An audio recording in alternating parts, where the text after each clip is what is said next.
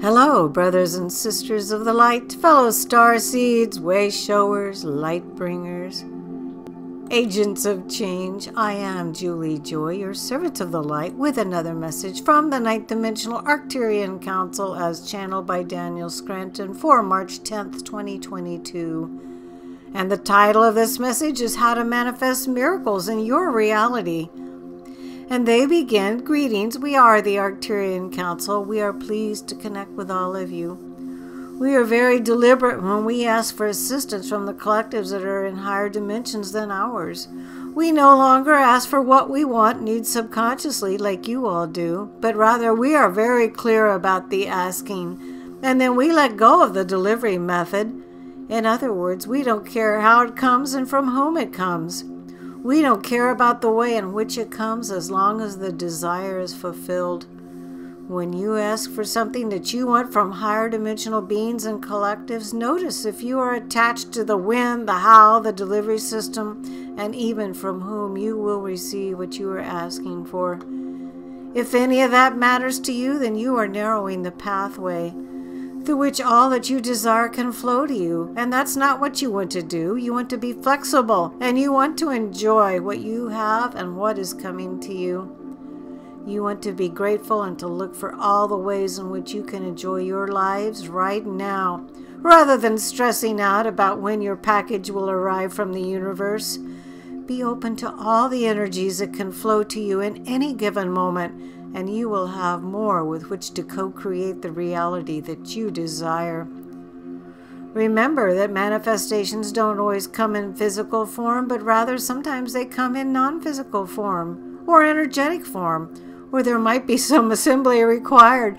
That can be the most fun part of the manifestation, but again, if you are attached to how it comes and what it looks like and when and where, you could miss out on receiving what you have been requesting and what you have been requesting for quite some time. We want you to be the creators and manifestors that you were always meant to be in this lifetime and as you move forward into the fifth dimension. You will need these skills.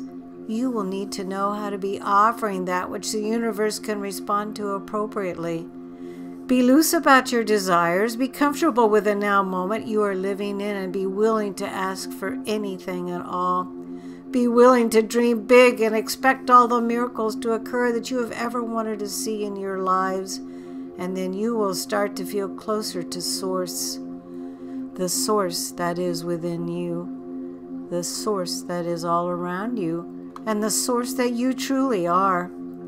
Source never doubts in its ability to manifest and create, and you don't need to either. You have all the power within you right now, and you're just starting to understand how to use it. We will continue to show you and to explain to you how to become the manifestors you've always wanted to be. We are the Arcturian Council, and we have enjoyed connecting with all of you. Now, this message about manifesting hit home with me